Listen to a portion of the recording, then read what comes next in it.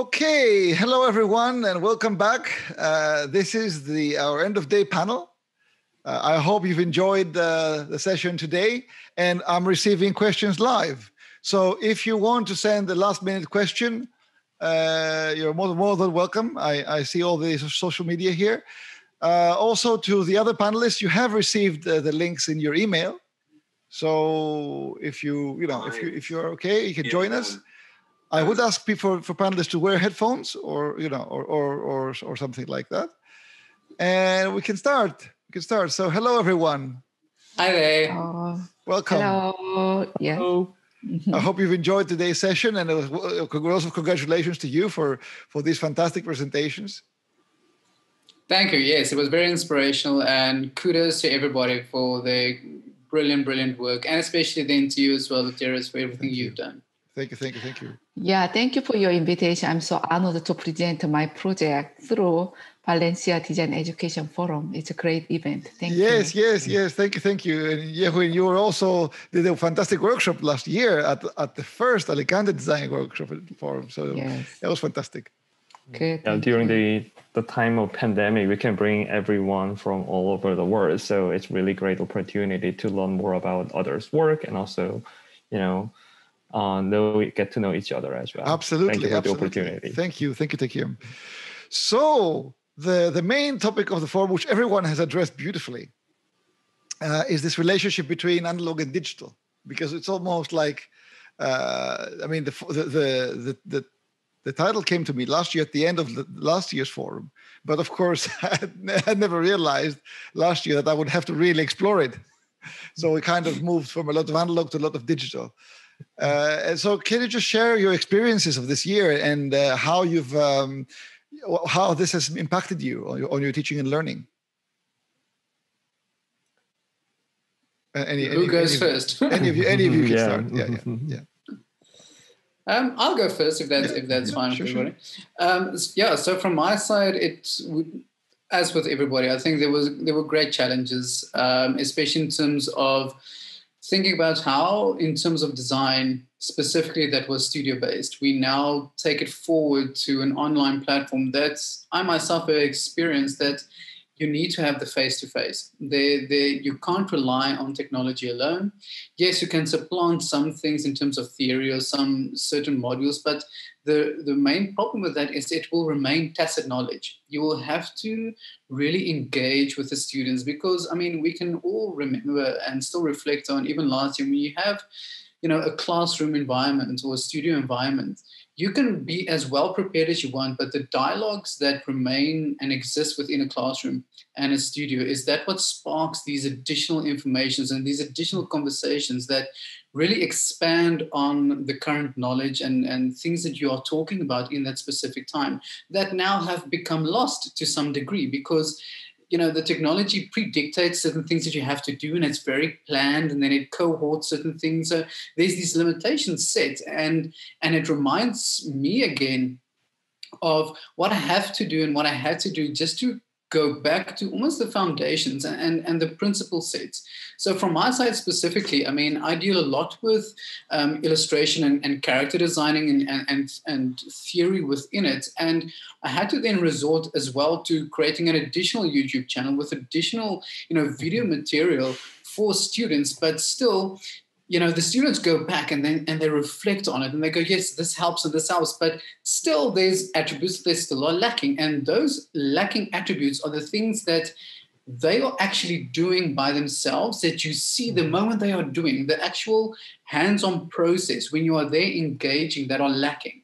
So you've got this disconnect even though you are connected with technology at the same time so you're both online and offline even though you think you are online type of thing. And and that you know that hinders the process. And i think you have to then really think back on what is it in the curriculum going multimodal that you restructure the things that you are actually doing. Mm. Because if we know it is hands on then then how do we take the online platform and say okay so mm-hmm. how do we go hands on what are the things that we recreate the studio environment? To what extent do we recreate it? And to what extent do we not? Because we know certain things i mean from myself i've got things that i've tried and tested and uh, some work some don't because it's it's a new era that we all went into. Mm-hmm. and i think you know the avenues of of testing and experimentation really started to work greatly for me as well because i could see certain technologies can work and certain things can't work and you have to hone back into the livelihood of the students. I really mm-hmm. thought very hard about the cohort of students that we have and what are their situations because not all of our students for example are connected. You can give them data but the network coverage to some extent you know that it doesn't reach them. So then they are left behind and you and you need to not have students be left behind. So you need to do different interventions so that you cater for those that you know are slightly facing different um, stumbling blocks than others or different hurdles than others. And at the same time, there are those students who excel more fast than others. And you can't have them sitting and, you know, twiddling their thumbs. You have to again think of, well, how do you entice the, the curriculum for them as well? So from that realization, at the end of the day, you, you come to realize that industry has shifted as well not only just for us but but for the businesses out there where our students go into. And it has set the precedent for me in this time to realize at the same time we've we've always thought you know we need to hear and listen to what industry says. You know what does industry say so that we can design or not design so that we can teach our students how to design for industry so that you know you can find your place in there but I rethought this process and thought to myself, well, we need to actually, you know, educate our students to reteach the industry, to say to them, mm-hmm. you know what, these are the things you don't have.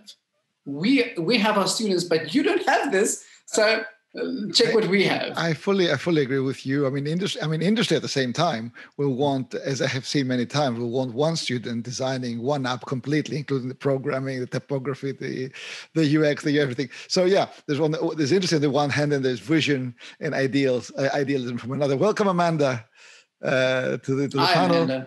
Uh, that was a fantastic uh, presentation. We really enjoyed it. Thank you so much for your for the presentation. Uh, so the, just to, to, reiterate, the question is about we're talking about our experiences this year and about the online and offline, the analog and digital aspect of design education. And so uh, we're just talking about what happened this year and how we pivoted and how this has worked. Uh, so uh, who wants to go next?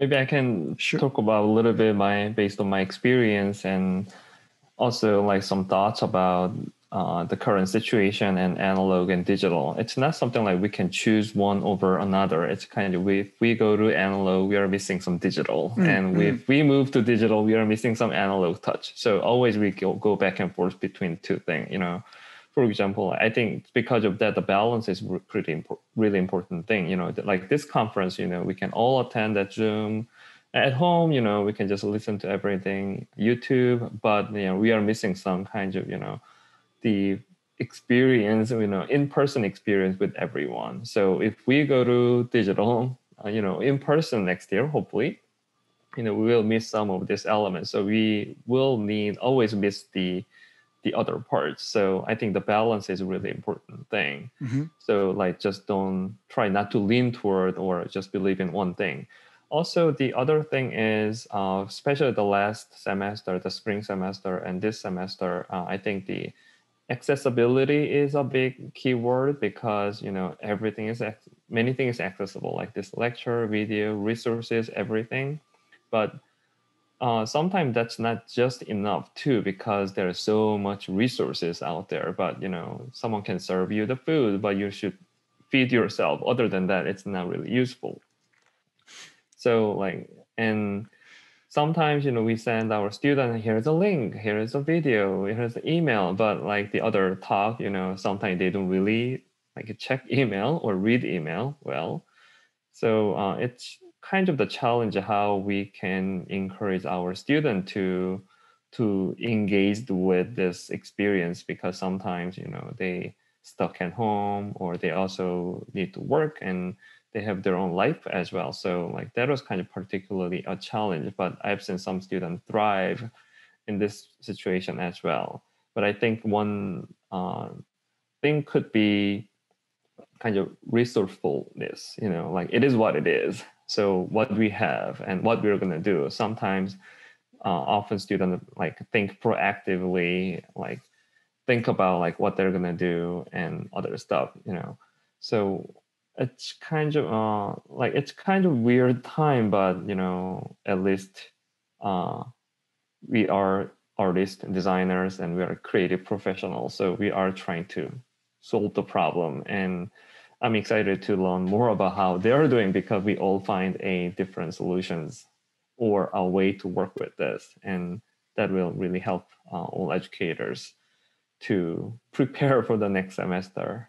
Mm-hmm, mm-hmm, mm-hmm, Absolutely. Uh, also, just one other thing is, uh, you know, in the past, like like many graphic design courses, you need to print a lot. Mm-hmm. But because of the uh, pandemic, we cannot really do much. So I've noticed that like many assignments go to digital, like a screen based, or like just make a mock up, or even use the uh, website. So you just send PDF and they're going to print the book, bound it, and send back. Just if you can tolerate the uh, turnout, you know, about two weeks, you can just send the design, receive it like contactless. So like uh, I think those resources hopefully will uh, remain there, and then we can incorporate those for our education and our for our student as well.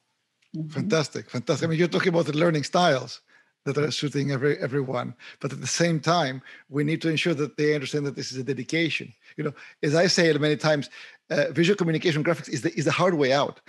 it's not the easy way out. Mm-hmm. And I, uh, having been teaching for many years visual communication design, which is quite mm-hmm. broad and open-minded, mm-hmm. uh, stu- I get students coming because they think, okay, this is Viscom, you know, mm-hmm. okay, this is easy. Mm-hmm. But at the same time, it's not. so yep. it, it's quite hard these days to communicate the kind of dedication that's required so by, our, by our courses. Yeah. And in a way, uh, Zoom does not encourage mm-hmm. that kind of dedication. But anyway, mm-hmm. fantastic. Yeah. Mm-hmm. So anyway, yeah. So thank you, Taekyung. And mm-hmm. I mean, my experience from in-person class to virtual class setting, at the beginning, I really struggled to make a transition, but I'm quite positive experience that because I teach UI UX, web design, creative coding. Technically, it is possible to teach virtually. Mm. But for instance, I had a meeting, in-person meeting with my student yesterday that it took almost two weeks virtually by using Zoom to do discussing, finalizing ideas for in, in-person meeting setting. It took just 30 minutes to figure out what's the problem of your design process and what is the direction we have to go. So in-person class is more efficiently we can communicate with the student. Mm-hmm. So at the end of the meeting, student was very impressed, impressed and surprised that the meeting was ended so quickly, just took less than 20 minutes. And then they were, wow. And they said, so I said, yeah, that's why we need an in-person class. absolutely. Absolutely. So anyway also i'm a graphic design educator that in this situation i really care about how to foster virtual supporting system in graphic ed, graphic design education. So i try to encourage my students that you have to support each other uh, to survive during this uncertainty mm-hmm. as a mm-hmm. graphic designer so I really try to focus on how you can create supporting system for graphic design. Yeah. Absolutely. Amanda? So um, I have a hi, hi. Hello. Sorry, um, I have a a bit of a different experience in mm. in my um, teaching online education.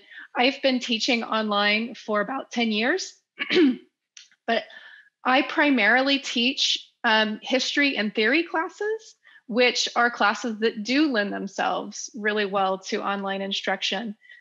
so I've been teaching about half of my classes online and half of my classes face to face so that we offer a little bit of variety for our students uh, for enrollment options. and then when we went online, uh, transitioning all my classes online was not a big deal for me.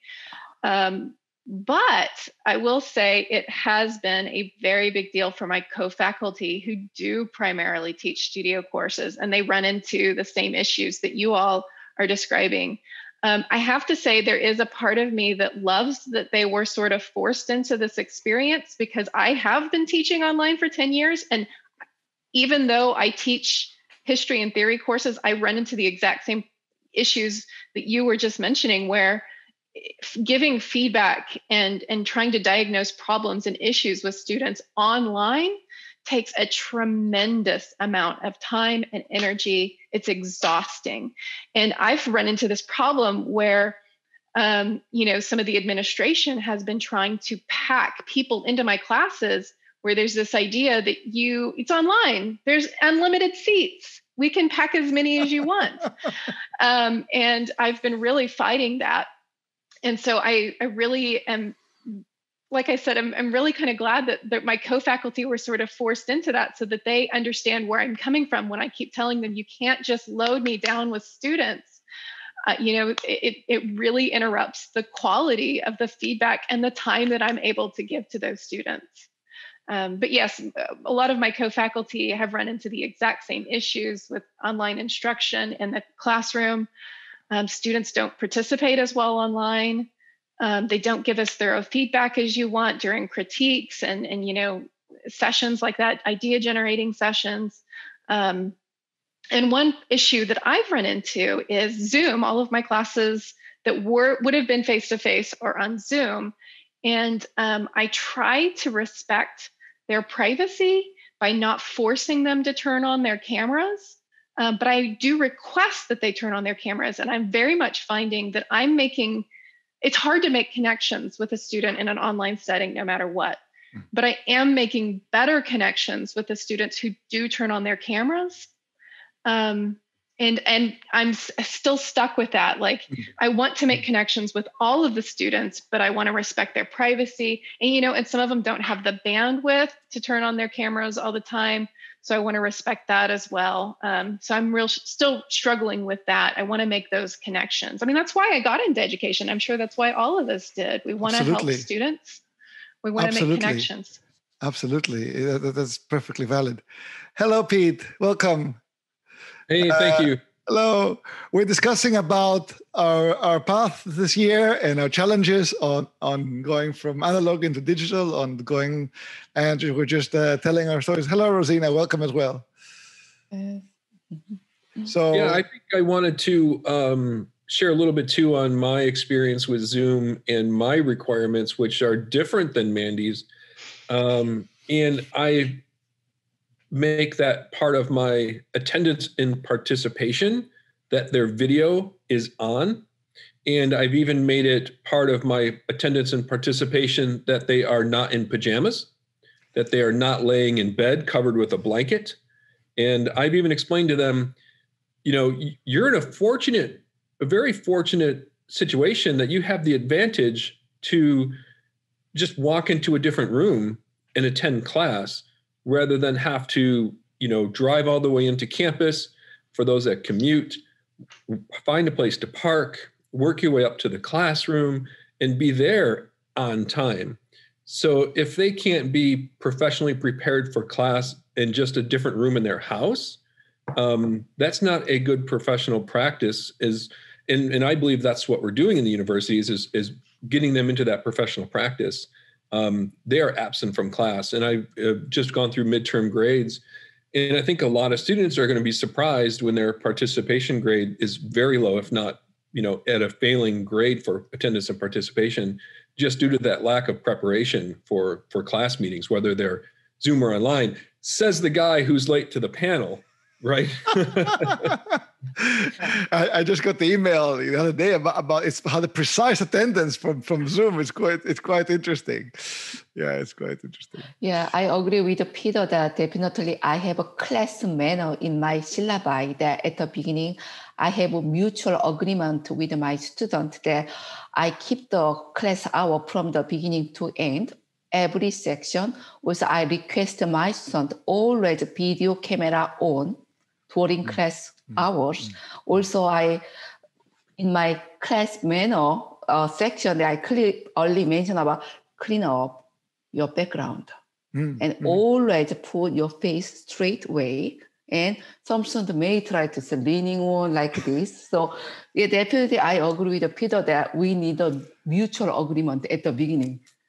Absolutely. Hello, Rosina. How are you? Welcome. Can you Hi, well, yes, I can hear you. And fantastic. Thank you. I'm obviously not the only one that was late, so that was good to hear. Don't worry. We're in our first question, and we are uh, talking about our experiences this year from uh, uh, pivoting from analog to digital into more digital environments of teaching and learning. So, mm-hmm. Uh, is there something you'd like to say about the experience uh, of, of this?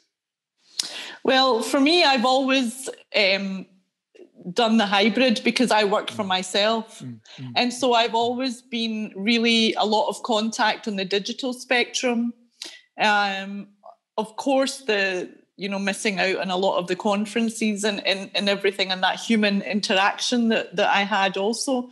But in terms of the education of what I've seen, certainly with having three children, um, there's been a big difference between teachers and educators who were very confident with actually the digital spectrum and who kind of straight away jumped into it compared to the ones that were totally afraid of it. Mm. So that whole kind of digital transformation that we've been, I guess, that governments have been talking about investing in over the years, well, boy, did we really see where the gaps were. And I think also that whole um, gap in terms of for the vulnerable you know, I also have a child, which I spoke about obviously in the video that I did earlier on um, on your session, mm. um, who's special needs. And so there also, you know, there's been a huge gap, of course, of um, youth that don't have access to that digital education, that don't have the access to the computers. And if families have, you know, two or three kids, not every single one has a computer and the parents Absolutely. also Absolutely. working from home. So, I mean, you need then five computers, you know, at home if you've got a family of five or a family of, of four. And even with us being in a luxury situation of having digital access, but having three children, it meant that each one needed that that access. Mm. So I think there were so many different interesting observations that came out. And we've seen some great initiatives from community coming together where they were raising funds and contact, contacting corporates to um, get oops sorry to get old computers and mm. to um, really help on, on social causes to you know try and bridge that gap Absolutely. so i have a lot of passionate thoughts about that you know and i think mm. governments and institutions need to do so much more to bridge mm-hmm. that divide mm-hmm. Mm-hmm.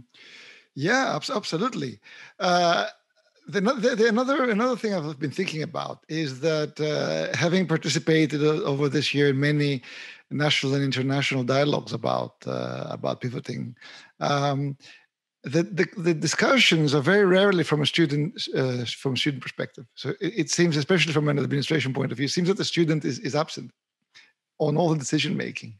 So how can we um, how can we get the discussion to be more student centered rather than than less.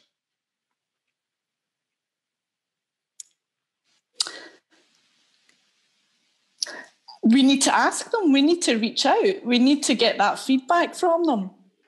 You know i think we need to be communicating and having feedback from educators and our students together perhaps. Yeah but for example you have you have now you have uh, certain countries uh, insisting that all studios are uh, physical yeah? And so they, they, there's the safeguarding design in many ways. Say look design is done one-to-one physical process.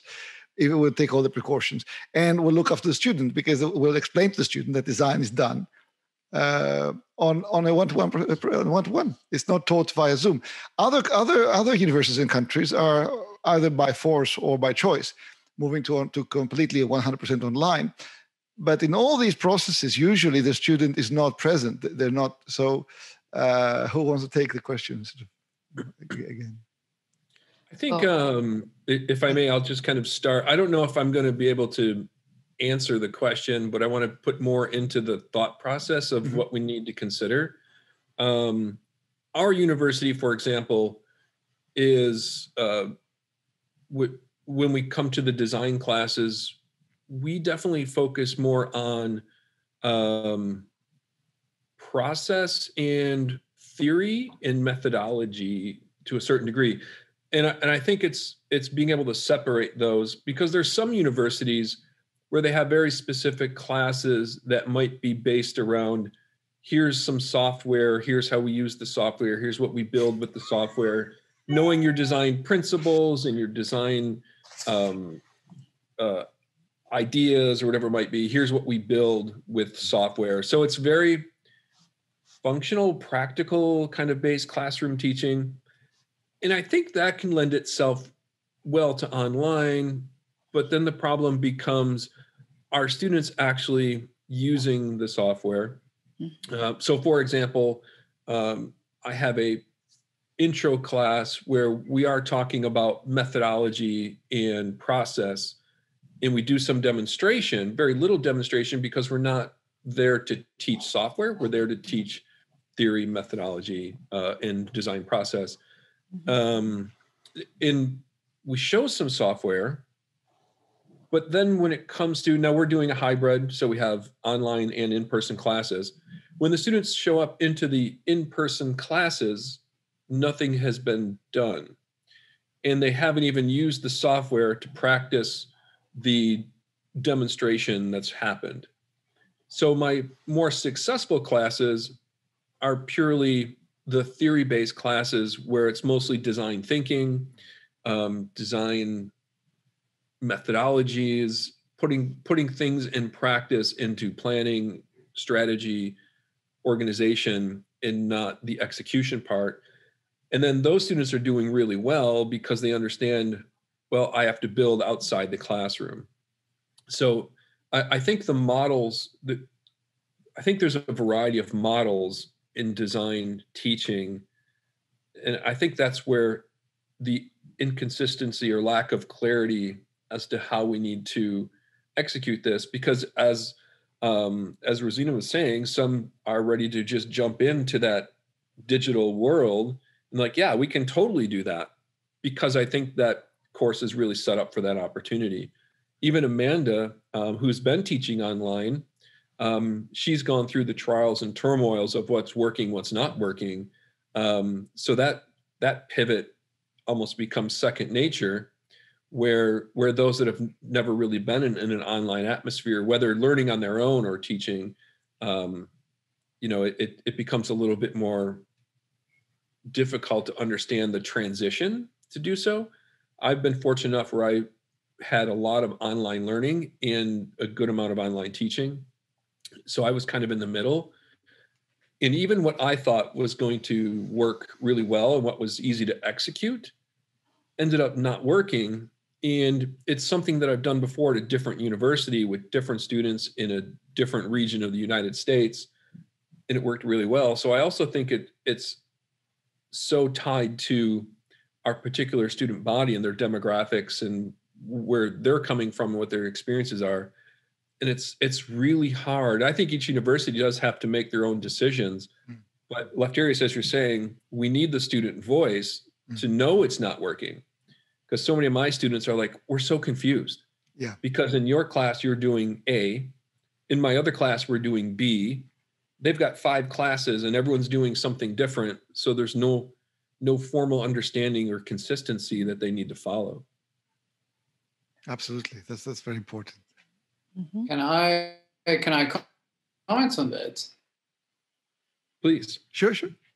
Um, yeah, Peter, I, I fully agree um, with what you're saying, and we have faced the same, you know, type of situation from our students. I think what what happened with our students as well is that what we mentioned earlier is we try to support them in many instances as possible in terms of data and you know having them be connected but some just don't have network coverage even if you give them as much data as you possibly can. So what we had to resource on as well is to set up not only you know devices for them um, in terms of iPads and additional third-party apps that in you know with the whole fee structure was feasible, but at the same time with what you mentioned about you know the uncertainty with students is we we set up for example an ert type of briefing manual basically just you know setting up a manual so that the students can see you know doing almost like a collaborative um,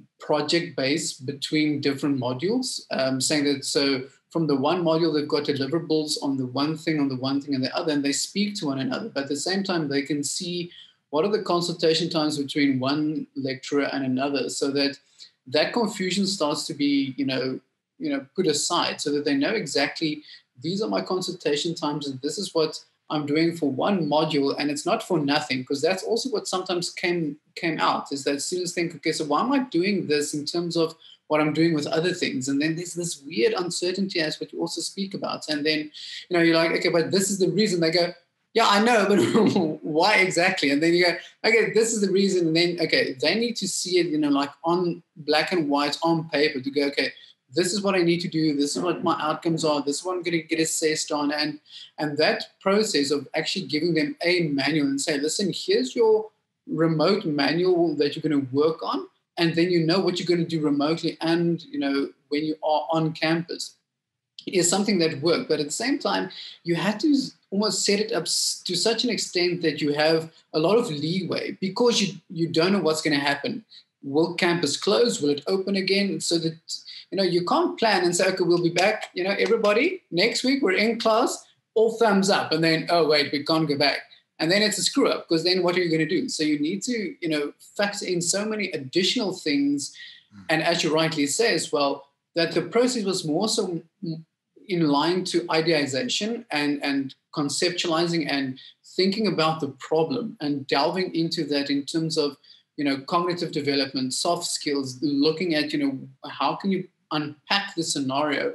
And then when you've got the resources yes then you start to implement to a greater degree. And that again is again where the problem comes in because you can't just have the student just rely on you know just the theory components and the idealization. They have to do the physical things. And that's where we sit. You've got this catch 22 at the, at the end of the day as well. But there is a great need for both. But I think that we have to think about, you know, how do we restructure this for 2021, 2022, the curriculum to say, so how do we cater for both? So that if there's an issue, we know we can jump back to point A or B, and we know we can facilitate and aid the student so that there isn't a lack of knowledge gained or skill gained?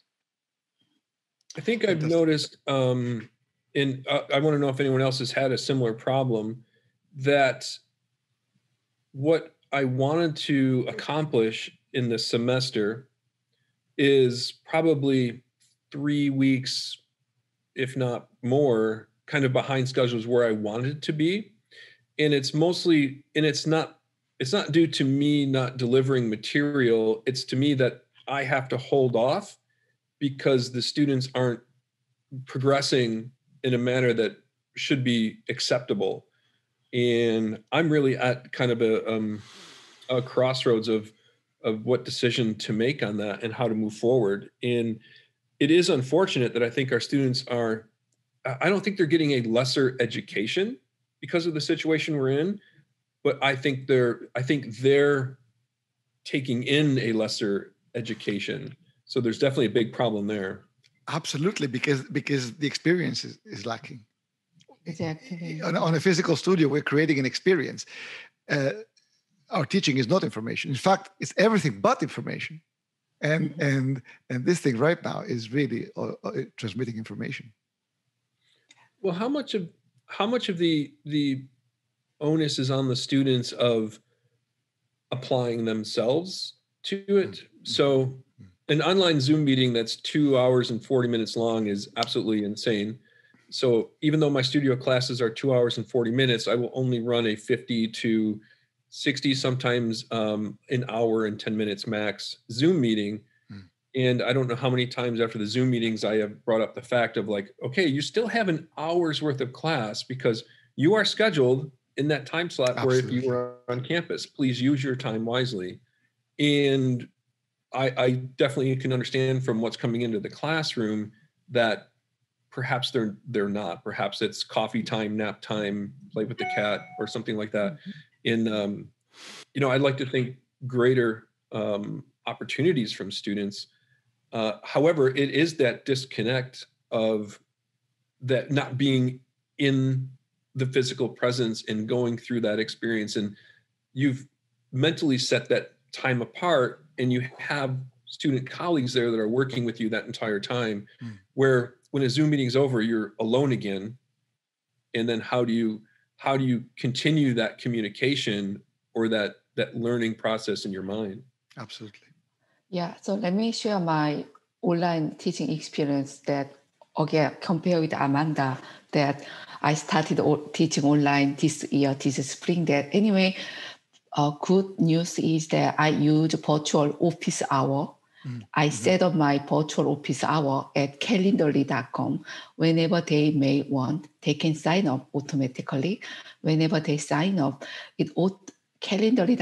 I, I'm not promoting Calendly.com, but I mean, anyway. sponsorship. but anyway, I'm using all kind of existing platform yeah. to make uh, my student connect with me. That that is one part way also uh, go back to your initial question, how we would teach student-centered, how we do, how we would offer student-centered education.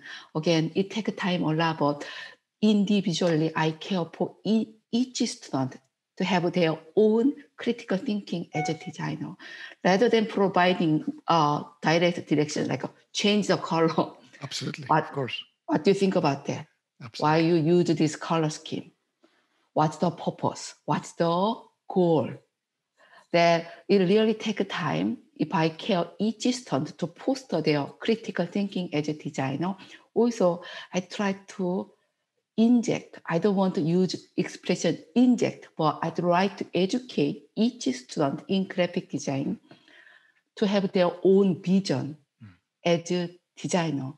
Vision, leadership, responsibility to the society as a designer. It really take time. That, but that is my just a primary teaching philosophy beyond by using Zoom or in person Absolutely. way. Yeah. Absolutely. Oh, oh, can I just add something? Also, I do believe that we can't underestimate the impact of this period on our students. And so, indeed, that whole kind of lack of human connection.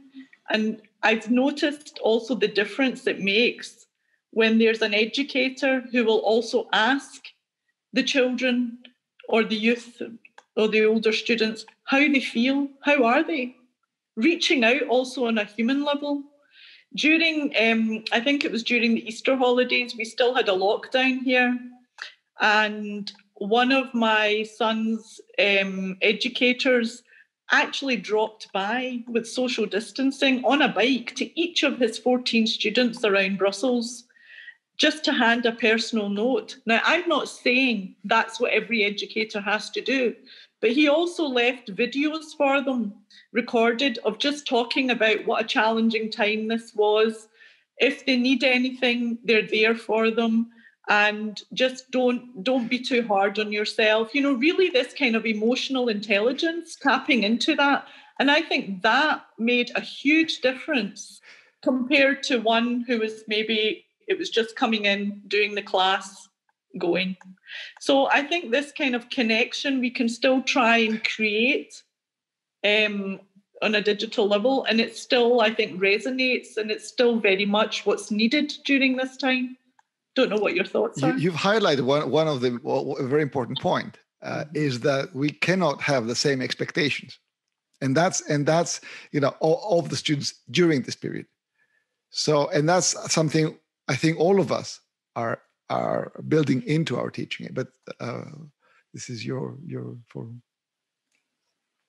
Oh. I agree with you. Yes, take him. Yes.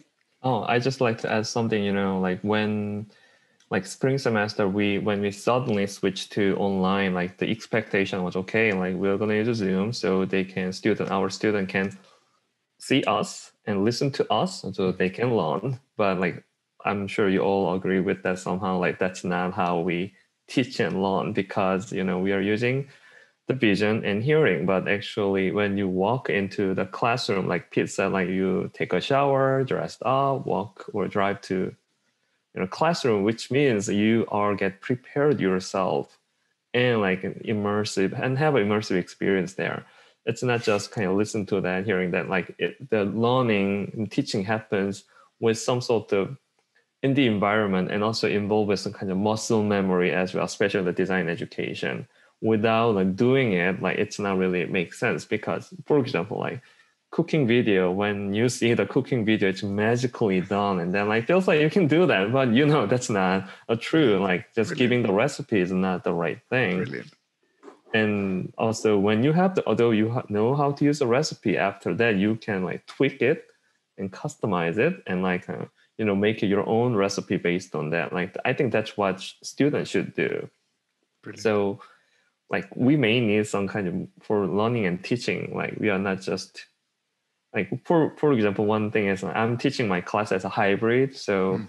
i see my student at least once a week but they all wearing the masks and i have really hard time reading their faces like and then but i try my all the senses to read their emotions so like i'm you know almost developing a sixth sense or something, you know, like, like a Zoom or something as well. Like we are like what Amanda said, like we are using our all senses to pay attention to like their facial emotion in Zoom or how they dress. We are kind of really trying hard. But interesting thing is in classroom, we, we naturally get that right away. So I, I don't know how to describe it, but I, I believe we all agree with that, you know, that we have some other senses to Absolutely. sensing Absolutely. the emotion there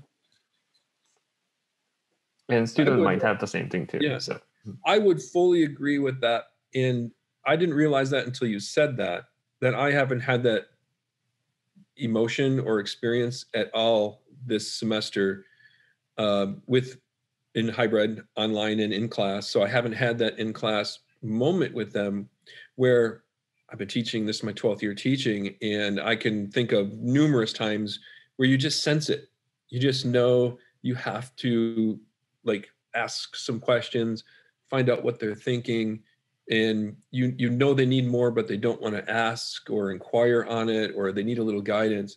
So I know I know exactly what you're referring to, uh, and that's definitely missing this this semester. And it, it a lot might have to do with the the face coverings. It might have to do with when we do have a moment to be in the classroom, we're trying to get them to execute more than we're trying to deliver theory uh, content. Um, but that's a really good point for sure. Amanda, have you got something to, to add to this conversation? Well, I just I want to speak a little bit more to, excuse me, getting feedback from students, and mm.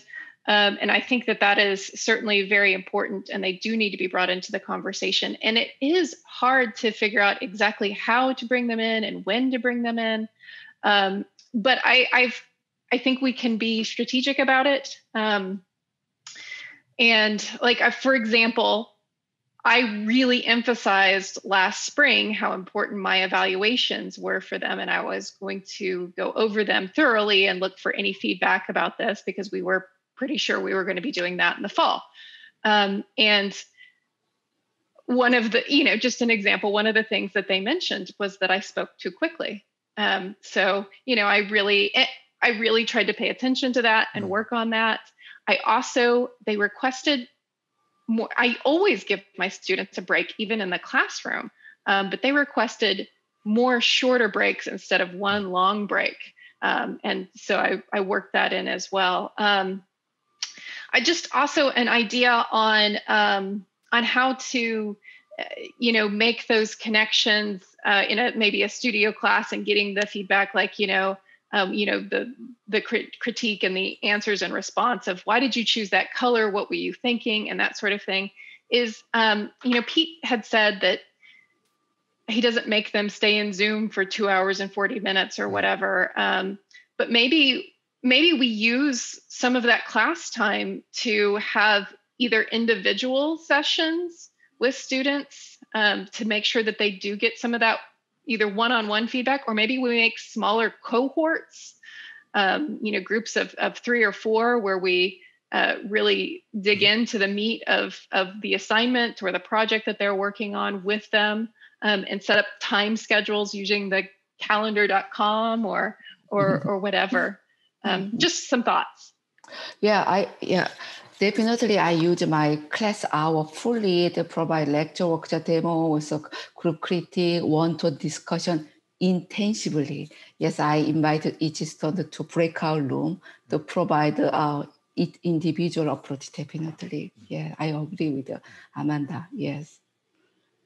Yeah i i too have utilized the breakout rooms um, after my my lecture time mm-hmm. and i have found that to be beneficial uh, for sure another thing that i've done in um, I, I think that i'm going to now with our conversation is have one at the end of the semester but i always have in the beginning of the semester i use google forms and I've created my own questions from my heart and my mind to my students in preparation for the semester to kind of get a sense of where everybody's at.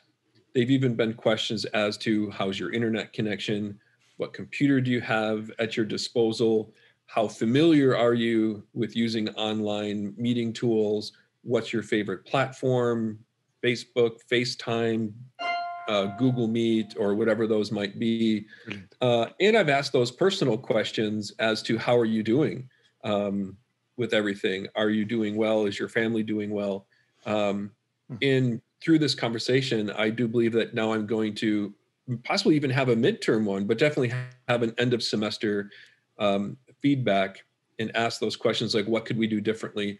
So I'll collect them personally but I think maybe it would be a good idea for our departments to have conversations from all our faculty say let's let's gather this information from all of our classes and let's compile it.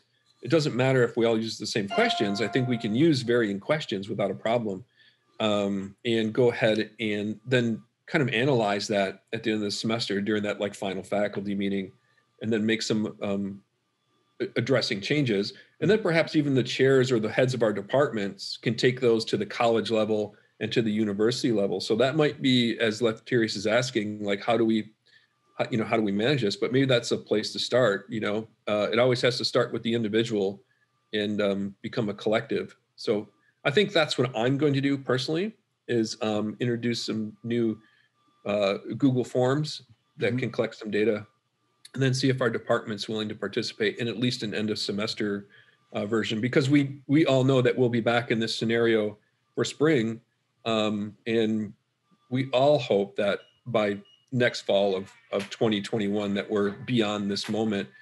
But i also know that uh, um, from a conversation that i've had um, with my colleague we're going to be continuing some of the ways that we teach and learn now um, and we're going to have more opportunity to do student meetings via um, these opportunities where they are online Zoom opportunities rather than you know meeting in the office like a student can't get to campus or something for some reason. It's like this is a great idea where we can still have these advising meetings or other meetings um, via the technology. So the technology now may have not been there before, but I think going forward, it's going to be part of our our everyday um, mm-hmm. way we operate. Fantastic. I mean, if I can also just comment on on possibly just on what Peter said and also on what uh, Rosina said and Amanda earlier is one of the things that also worked for us to a great extent as well as just to connect on the human level. Firstly, was also to structure like two to three sessions in a week just with students bodies and just talk to them. Just have we call it just like a chat time. So that those want to log in log in and you hear you know how's it going? What are the struggles? Connectivity issues personal issues whatever the case might be.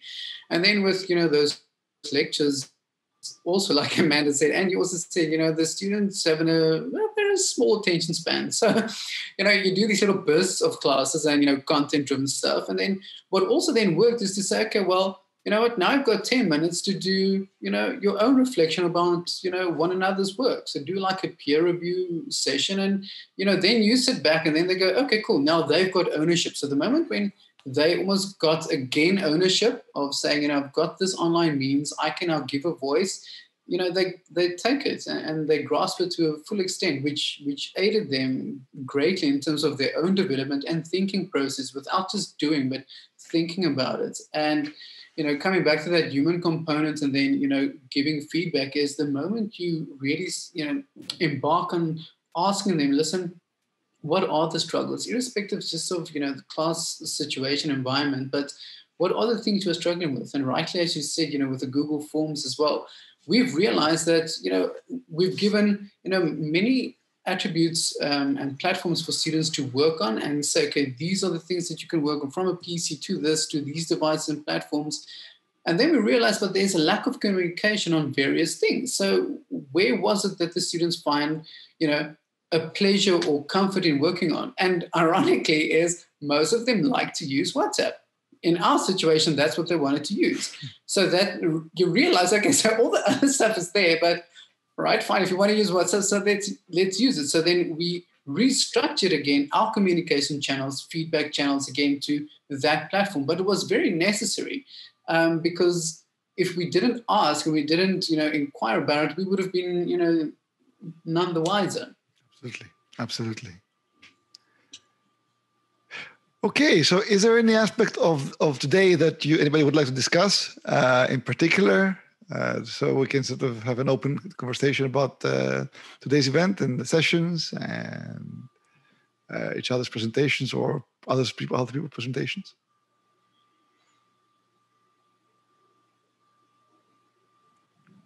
I've been I've been enjoying watching them. I thought the keynote was a great uh, a great start and I liked um, the discussion about the um, practice to practitioner uh, moment of, of of what he was speaking to. Absolutely, absolutely. Yeah, I found um, I found that as well. I think the keynote was very nicely structured in terms of you know as I've mentioned that ORM that that loop of of working processes. But at the same time, when I listened to all the other other talks, it's you know it's not only inspiration, but it's also it gives you an excitement of wanting to collaborate. Um, I commented on on Pete and, and Amanda. I, I've commented on you know how great a project that is, and and that the scope can can just branch out far more than you know mm. what you're currently working on. So I'll wait that you publish that you, that you do it in 2022, and then when you've got everything done, then we can do another one in a shorter time. Oh, yeah. yes, I yes, I agree with that. I think that project had a great potential as a multidisciplinary project beyond the documentary film that I think graphic design community and other community would be very welcome to collaborate with you. Mm-hmm. Yeah, we've Mandy and I have had many conversations about um, the the opportunity that this has in understanding that you know a full a full length feature documentary film of about an hour and 20 minutes or an hour and 40 minutes doesn't give you much window to really cover this in the depth that it needs to be covered. Um, it, even if it, we talk about diversity and race and uh, economic standings, whether it's um, in in Europe, in Asia, in India, or wherever it might be in the world and and what that looks like and how different that would vary across the globe. So yeah mandy and i've had like wow there's so much to talk about here. You know how do we find that little moment where we can talk about this in a, in a short documentary film and the opportunity for for growth on it is is an expansion. We've even talked about a series. Yeah, so, um, so we're talking about Netflix series. I was saying that's yeah, fantastic. Yeah. fantastic. Thank you all. I appreciate it. Yeah.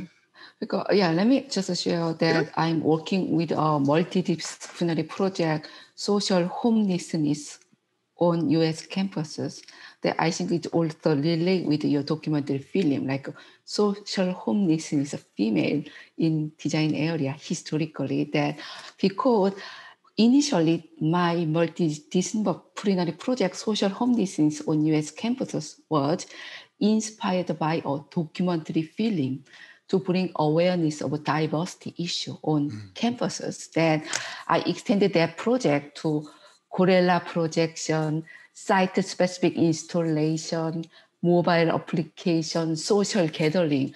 I think your project has huge potential. I would be welcome to talk more about this project with your team. Yeah. Thank you. Yeah, yeah thank you. Feel free to reach out, send an email. We'll we'll talk more for sure. Anyone yes. that's interested. Yeah, thank you. I will. Yeah. Anyone else would like to say something, of just as a general comment? You're okay. I can say just generally, yeah. really enjoyed it, uh, Lefteris. Really fantastic. enjoyed it. The keynote was fantastic and uh, thoroughly enjoyed it. And also, well, it's all because of you. It's all because of, of you. Well. Yes. Fantastic, fantastic. Well, we are already preparing for Monday. We'll be preparing for uh, Design Education Forum 2021. So again, ideas and suggestions to make this even even even bigger and better uh, is uh, welcome. And we're back in less than 15 hours. So I, I apologize for the, the US time, but I try to create uh, two sessions like US and Europe, roughly. Uh, but every presentation, even this this uh, panel, will be available on YouTube uh, from Friday night. So all the presentations, all the speeches, everything you saw today will be there. It'll be uh, it'll be unlocked. They'll be unlocked. And uh, thank you so much for coming. And, thank you. Uh, thank you. Thank yes, you. Thank, you. Fantastic. Thank fantastic you. Conference. And thank, thank you to everybody. Thank, thank you. you. It was brilliant. Thank you. Thank you. Bye.